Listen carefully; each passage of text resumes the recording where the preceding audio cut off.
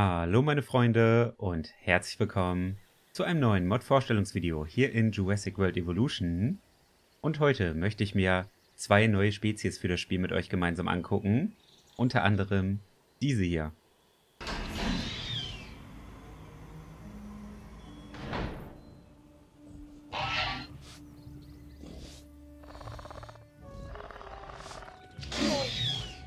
Das ist ein kleiner gefiederter Räuber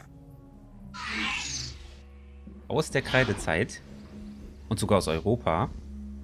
Der kam nämlich, glaube ich, in Rumänien vor oder sowas. Äh, der Name ist sehr, sehr schwer auszusprechen, muss ich sagen. Der ist auch, glaube ich, aus dem rumänischen Valor. Ich hoffe, es ist einigermaßen richtig ausgesprochen. Falls nicht, schreibt es gerne in die Kommentare. Oh, der frisst sogar noch Pflanzen hier. Interessant. Aber der hat eine Fleischfresser-Animation. Okay, das ist jetzt gerade überraschend. Der hat aber ein sehr tolles Federkleid.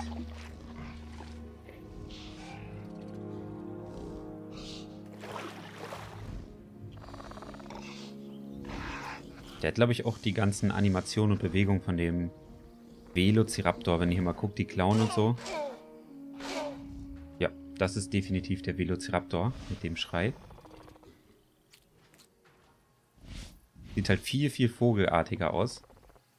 Schauen wir uns den jetzt nochmal ein bisschen genauer an. Ich habe das Ganze mal pausiert.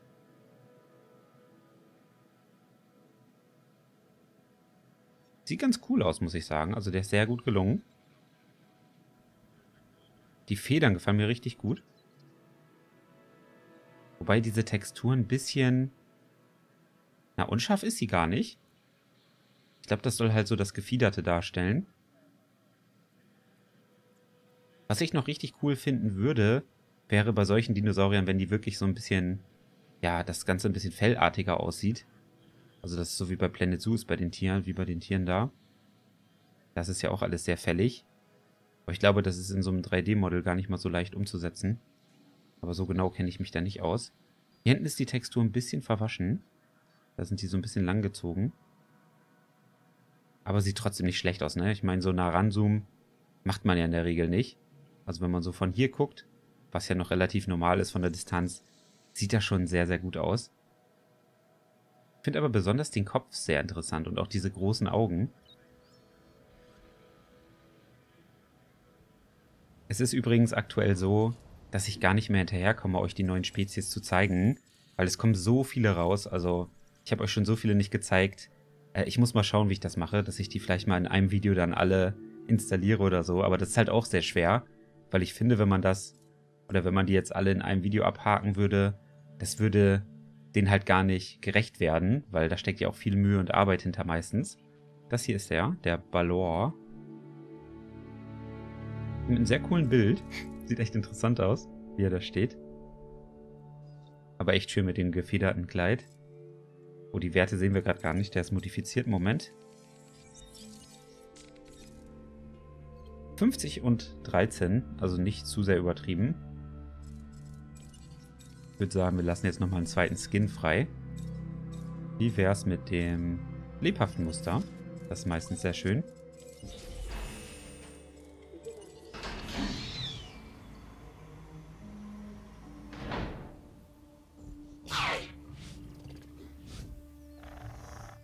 Oh ja, das ist echt schön farbenfroh. So ein bisschen lila-pink. Aber auch nicht zu viel. Also die Farbe gefällt mir eigentlich noch. Das ist jetzt nicht zu knallig. Sehr, sehr gut gemischt. Sieht definitiv interessant aus. Ich habe jetzt nochmal pausiert, damit wir uns mal die Zähne angucken können. Ja, der hat so ein paar kleine spitze Zähne. Diese Farbe. Schon ein bisschen gewöhnungsbedürftig. Also ich favorisiere auf jeden Fall eher den Braunton da hinten oder dieses normale. Aber ich bin ja sowieso eher Fan von diesen natürlichen Farben und nicht von diesen knalligen. Gut, aber das sieht cool aus mit den Federn hier. Dass die unteren Federn dann so weiß sind und die oberen so lila. Das gefällt mir. Und einen weiteren lassen wir noch gemeinsam frei. Das ist jetzt, glaube ich, Tundra. Oh, der sieht sehr cool aus.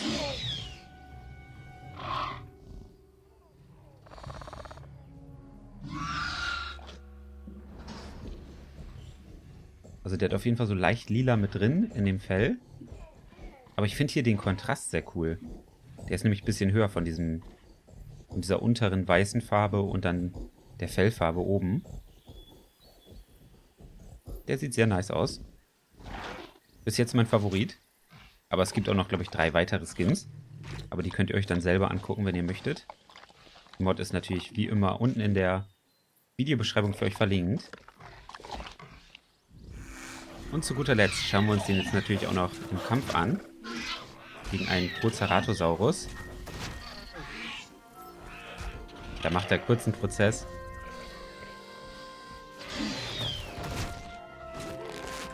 Und das war's mit dem Prozerato. Oh, hier vorne kämpfen auch noch zwei. Das ist aber keiner von den gemoddeten Dinos.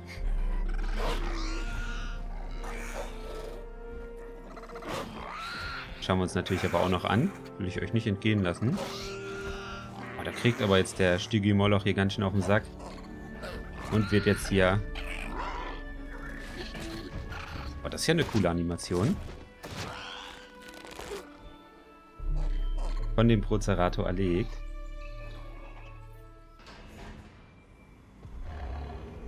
Und als zweites für heute schauen wir uns einen weiteren gefährlichen Räuber aus der Kreidezeit an.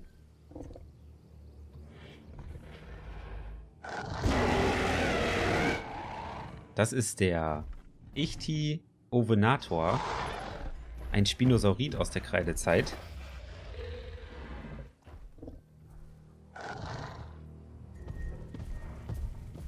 Wundert euch nicht, der Kampf findet gerade noch da hinten statt, im anderen Gehege. Er sieht wirklich sehr, sehr interessant aus. Hat ein sehr markantes ja, Rückensegel und auch der Kopf ist sehr markant. Hat übrigens die Animation und Geräusche von dem Suchomimus, wenn mich nicht alles täuscht.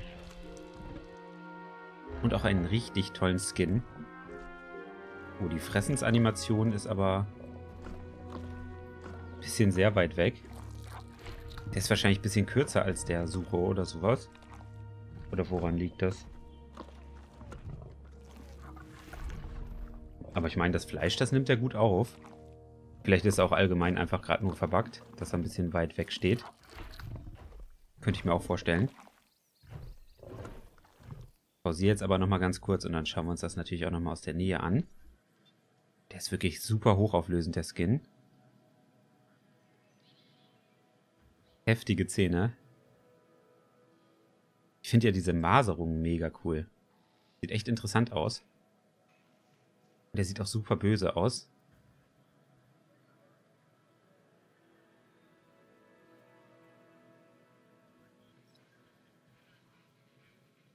Also die Farbgebung ist wirklich klasse.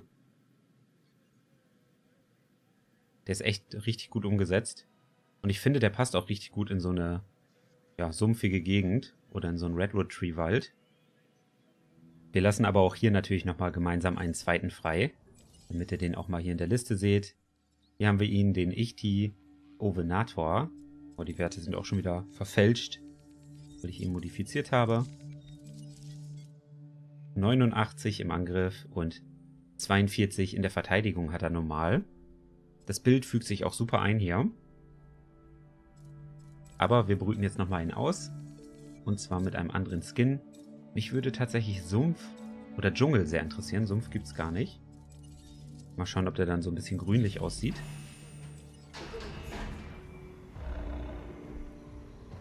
Oh, der ändert sich gar nicht. Das ist aber schade. Ich meine, der Standardskin ist richtig cool. So ist nicht. Aber so ein bisschen Variation zu haben, ist immer schön, ne? Wir können noch mal einen weiteren freilassen. Vielleicht ist es auch nur der Skin, der sich nicht ändert. Nehmen wir einfach mal den zweiten hier. Dieses Tundra-Muster. Dann schauen wir da mal rein. Ja, schaut mal, der sieht anders aus. Leider gerade die Schattenseite, aber das lässt sich ändern. Oh, der sieht ja auch richtig cool aus. Der hat halt super interessante Farbvariationen.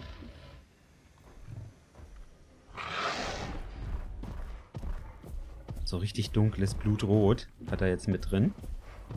Gefällt mir auch gut. Ich habe übrigens gerade gesehen, dass der Ichthyovenator auch äh, Fische fressen kann. Seht ihr da an dem kleinen Symbol. Oh, ich glaube, hier schlägt er jetzt gleich zu. Das wollen wir uns natürlich angucken.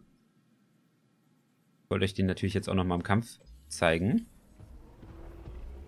Ich glaube, den Iguanodon den packt er sich hier, aber die Animation sieht ganz, ganz komisch aus, muss ich sagen. Aber da hinten geht es auch rund. Oha. Jetzt geht es hier Schlag auf Schlag. Gegen ein Kentro ist er hier auch am Start.